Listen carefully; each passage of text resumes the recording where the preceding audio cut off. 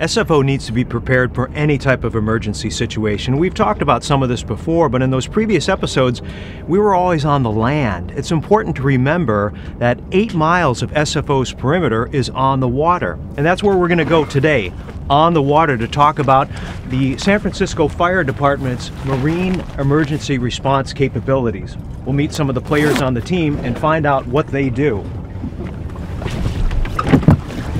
I'm Doug Yakel, and this is Inside SFO.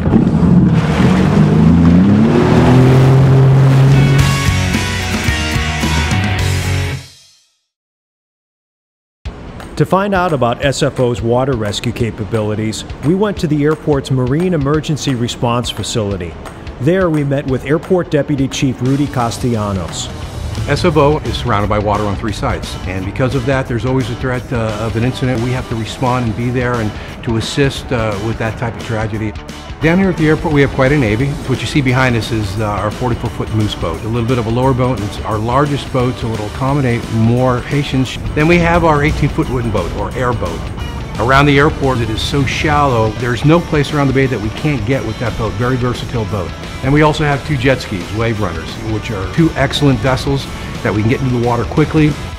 Most of our people who come down here will uh, participate in a bay rescue uh, certification to become rescue swimmers.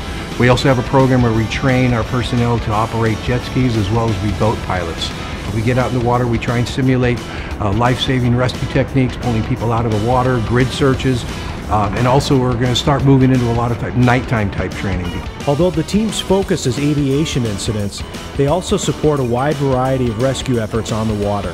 Very, very diversified type of incidences that we can respond to. The Coast Guard will then reach out to us for assistance. We have quite a bit of experience of going out and looking for missing people, windsurfers, but we've also had some collisions out there where we had people stuck under the hull of the fishing boat. Our people went out there, our swimmers got into the water. So, whether by land or sea, the San Francisco Fire Department Airport Division is ready to respond to any type of emergency incident at SFO. Uh, what we do uh, in the fire department, police department, is we're going to work every day to assist somebody in need, and, and I love that. I think that's been my calling. That's what that's what we do, and that's what we love. That's a wrap for this episode. Thanks very much for watching, and we look forward to seeing you again on the next edition of Inside SFO.